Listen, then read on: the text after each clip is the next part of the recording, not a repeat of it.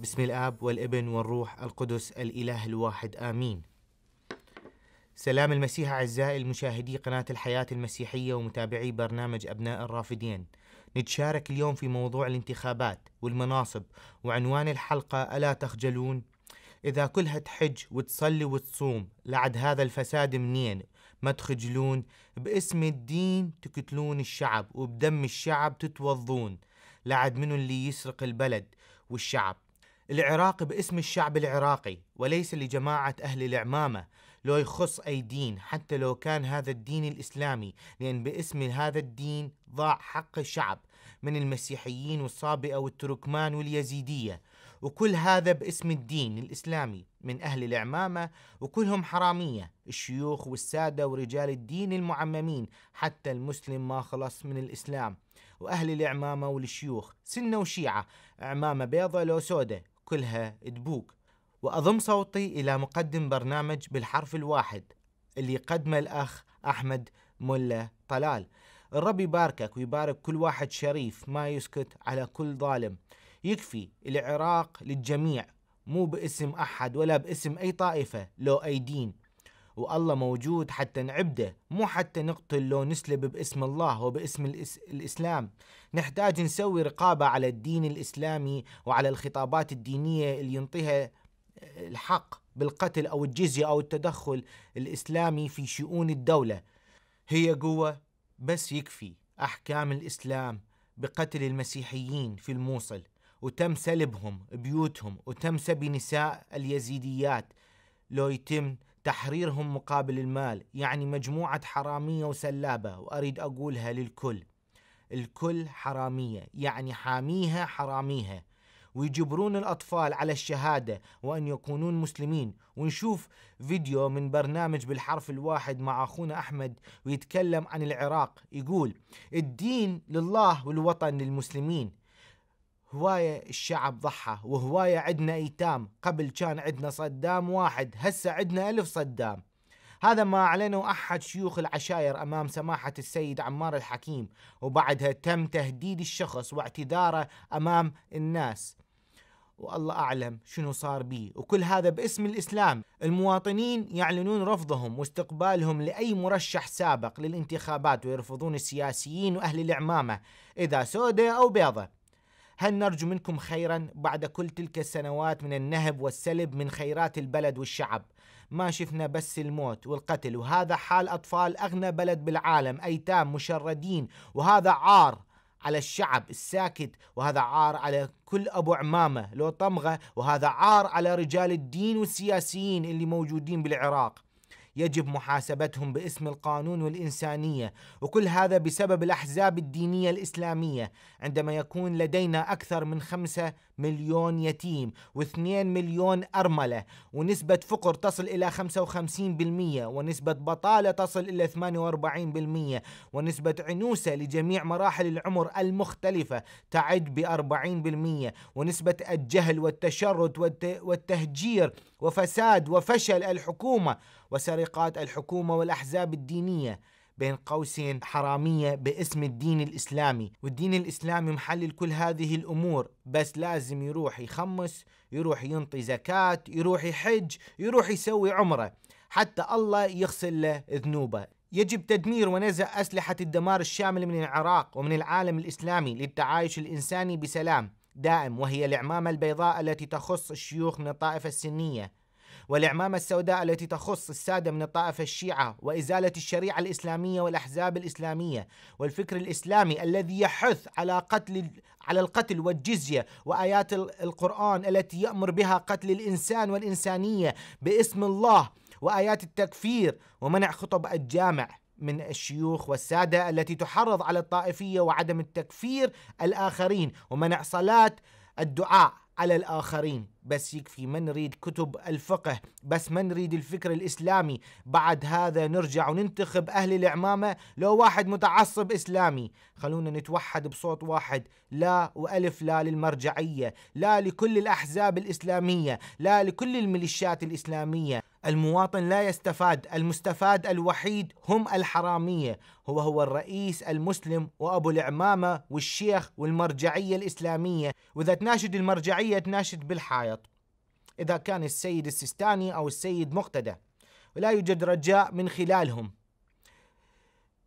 إيدهم مليانة دم. دم الشعب.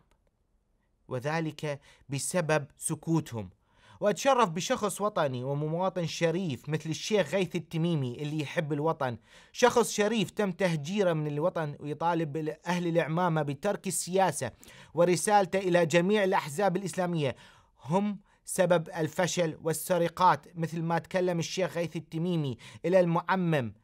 أنت ما ميت على حسين أنت ميت على الهريسة. أقصد على مال. وليس على الشعب.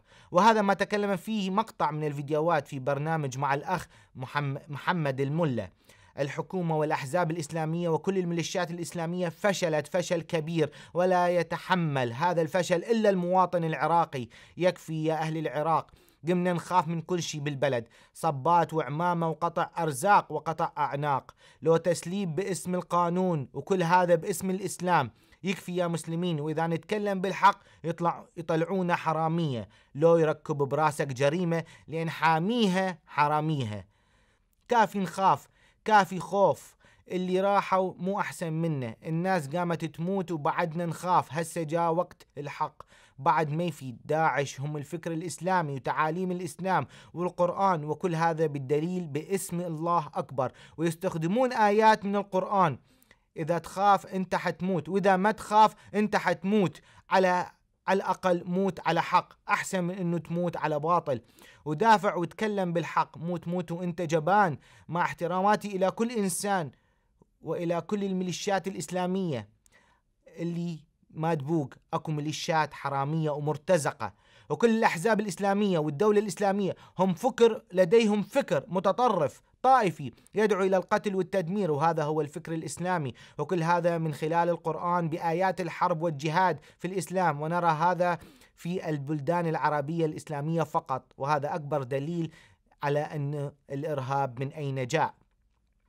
هناك 164 آية حرب وجهاد في القرآن. المشكلة الأكبر أنه معظم آيات الحرب تنسخ آيات السلم والتسامح فآيات السيف تنسخ من حوالي 121 آية والبعض يرجح أكثر. يعني يتم قتلك وتسليبك وبعد هذا يتم مسامحتك. هذا هو دين الرحمة المناقض لنفسه. أحد أساليب الدعوة في الإسلام هو إجبار النصارى على دفع الجزية مقابل عدم دخول الإسلام وهذا يعني أما الجزية أو الإسلام أو الموت. وإذا قلنا أن الإسلام يدعو بهذه الطريقة فإن أصبح الدين لصوص وقطاع طرق. وإذا كان التفسير بهذه الطريقة يعني كل مسلم عندما يرى المسيحي ويأخذ منه الجزية أصبح دين انتهازي. ولرب المسيحيين يريدون أن يدخلوا الإسلام عندما يخيرهم المسلم. أما الجزية أو الإسلام ويدخل المسيحي في الإسلام لكن المسلم لا يريد أن ولا يريد أن يدفع الجزية لكن المسلم لا يريد ذلك. سوف يقول له المسلم أريد الجزية لا أريد إسلامك. عندئذ سوف يصبح دين سرقة بالسطو المسلح كما هو مكتوب في سورة التوبة قاتل الذين لا يؤمنون بالله ولا باليوم الآخر ولا يحرمون ما حرم الله ورسوله ولا يدينون دين الحق من الذين أوتوا الكتاب حتى يعطوا الجزية عن يد وهم صاغرون. هذا موجود في سورة التوبة. بعد السقوط قاموا يدورون منو الحزبي ومنو مع حزب البعث ومنو بالعراق يقدر يتنفس أو ما ينضم للحزب بذاك الوقت. هسه قمنا ندور منو داعش ومنو مع داعش ومنو مع القاعدة ومنهم الإرهابيين. بدل ما ندور كان من البداية حاربتوهم.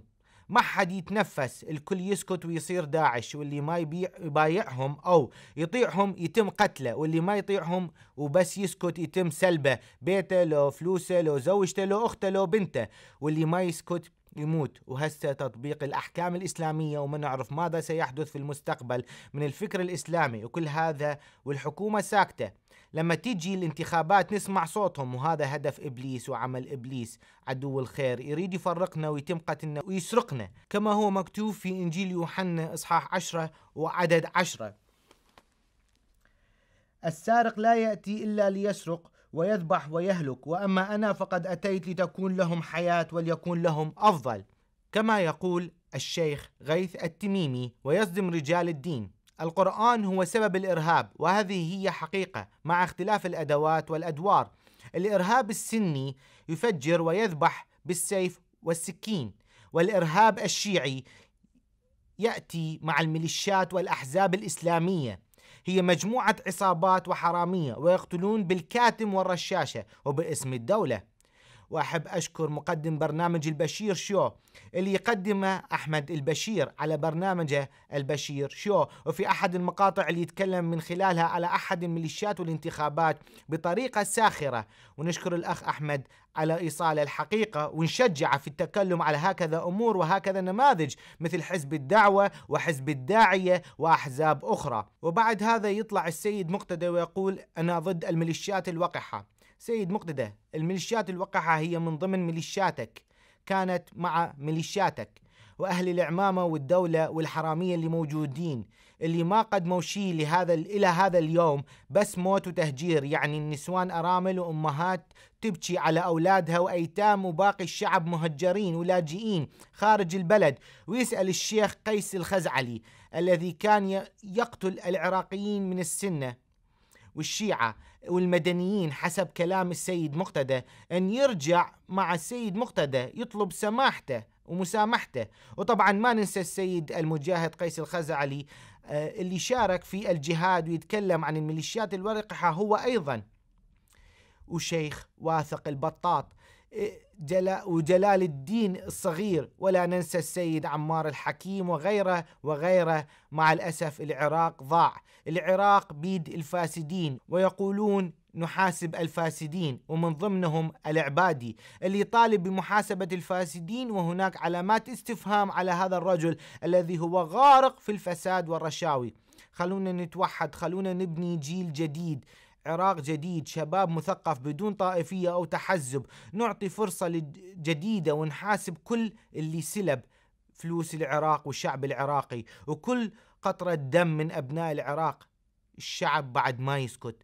مثل ما قال الشاعر ما وصيكم ارجع انتخب واسكت على كل واحد يتاجر بيكم. مثل ما قال أحد المواطنين الكل يبوق الكل يسرق سني وشيعي حتى العمامة تبوق حتى السادة شلع.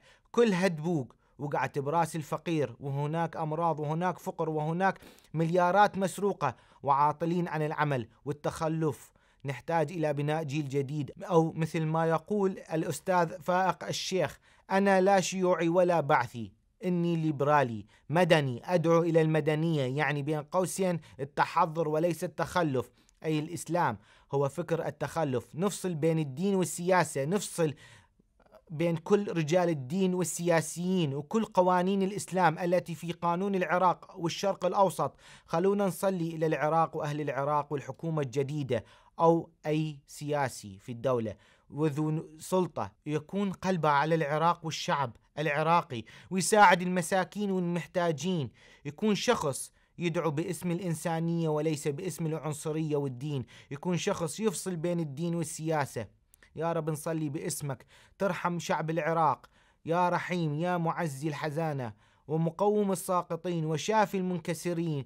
يا محرر المقيدين أنت يا رب الشفيع الوحيد. يا يسوع المسيح أنت سامع الصلاة والمعزي الوحيد. يا قدوس آمين. رب يبارككم أعزائي المشاهدين. نعمة الرب يسوع ومحبة الله الآب وشركة الروح القدس تكون معكم لساعة مجيئه. باسم الآب والابن والروح القدس الإله الواحد آمين.